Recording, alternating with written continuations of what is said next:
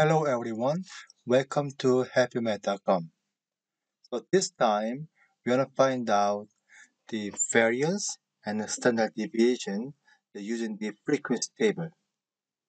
So throughout my previous video, you know how to construct the frequency table. So I continue using the same table and I'm gonna find out variance and the standard deviation of this data. Okay, so on the frequency table, to process to find the variance and standard deviation, so you need to find out the midpoint first. So midpoint means the average value between the lower limit and upper limit. So what you do? The grid is blank, make an equal sign, and don't forget to make the parentheses and lower limit plus upper limit and you close the parentheses and divide by 2. Then this will be the midpoint for this first class here.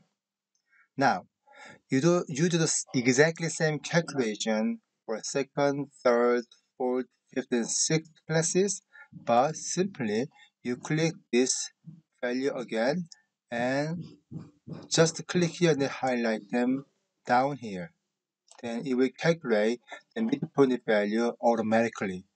It is because we are copying the same calculation to between second and sixth classes anyway. That's the reason. Now, what I want to do, I'm going to do midpoint times the frequency. So those are midpoint value and you are multiplying each midpoint times its frequency value f here. So click an equal sign and this midpoint multiply frequency enter. Okay. And then you do the exactly same thing. Then the last column is midpoint squared times frequency. So what do you do? Just click equal sign, midpoint, and shift number six button, and you will get this power sign here, and square, and multiply frequency, and then enter. And now you do the same thing, like uh, uh, last of the two columns, okay? Alright, so the following step is now you're going to find out sum of the frequency column and m time frequency column and m square time frequency column here. So click and now on top part here, do you see auto sum? Okay. If you don't see that, then please click home button and look at on the right side, then you will see auto sum button and click it. And it usually calculate this range here. Then please enter. The same thing here, AutoSum, enter. Also here, AutoSum, enter. Okay. Now using those three columns, now we can calculate um, variance and standard deviation. So these are formula of the variance and the standard deviation.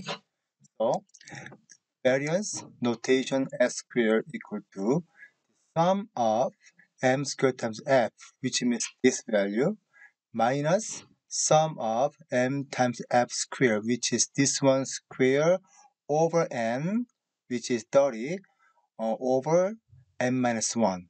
There will be 30 minus 1 here. And after finding the variance, and I'm going to square root of that, then I can find the, the standard deviation. Okay. I'm going to make title here, variance.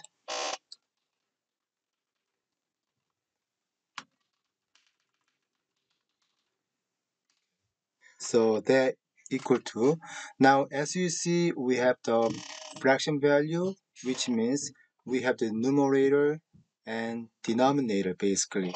So what I want to do, I'm going to make a numerator factor or calculation using the parentheses. So open it. Now, the sum of the m squared times f, which is this one. So, this value and minus. Now, another fraction here, which means you must use fraction one more time.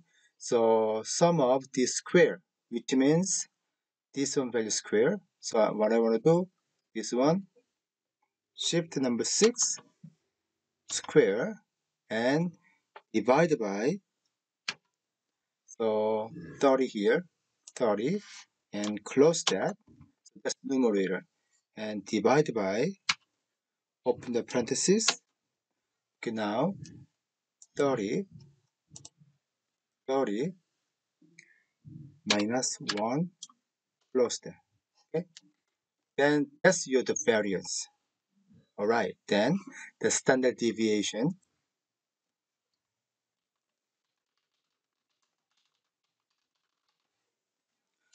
So that equal to square root of that, right? So I'm gonna do create this value to the shift number six, open the parenthesis.